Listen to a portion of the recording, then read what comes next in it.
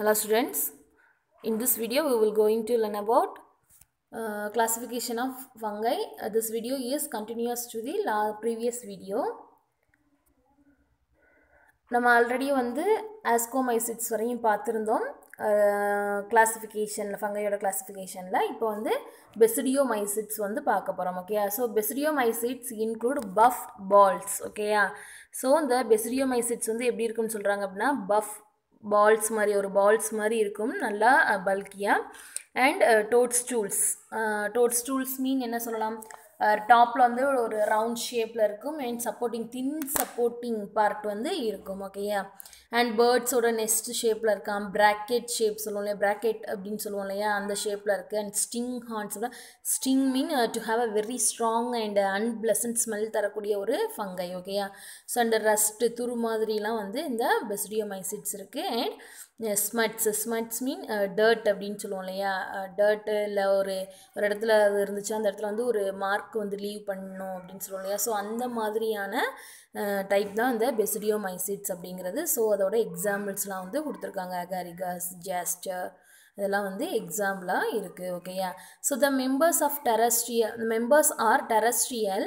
and lead a saprophytic and parasitic mode of life ஓகேயா so என்ன சொல்கிறாங்க அப்படின்னா இது வந்து டெரஸ்ட்ரியல் லேண்டில் வாழக்கூடிய ஒரு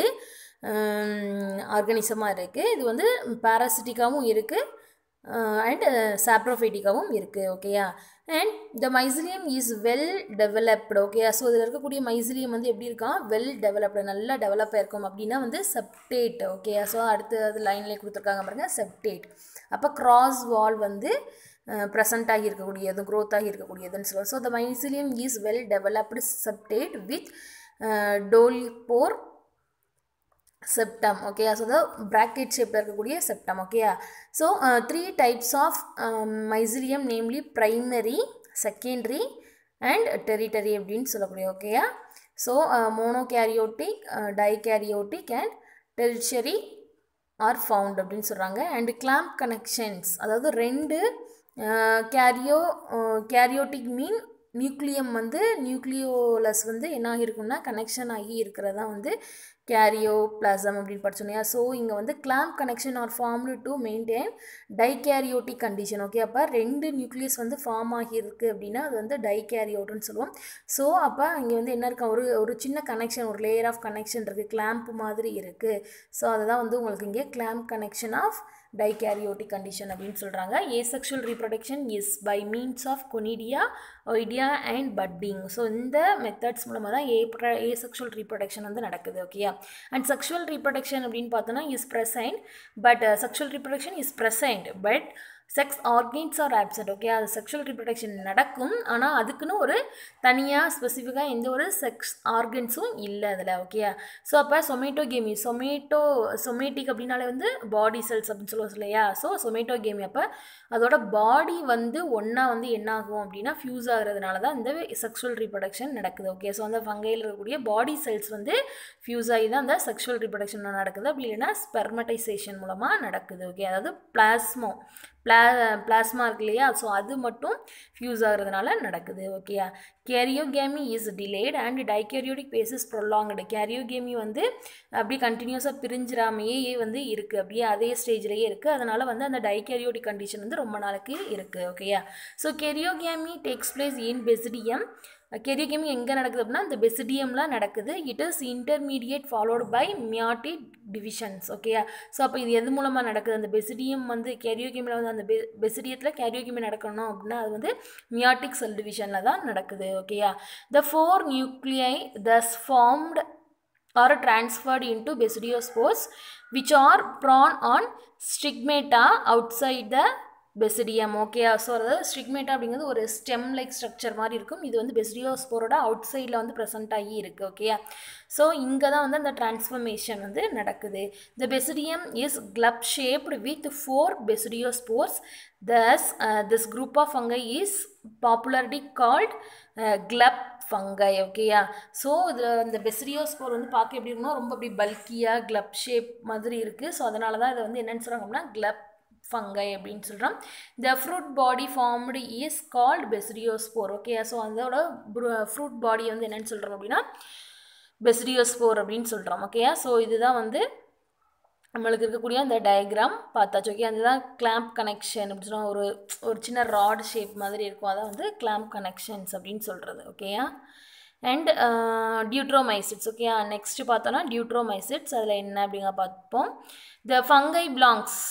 The fungi belongs to the group group lack sexual reproduction okay the fungi belonging to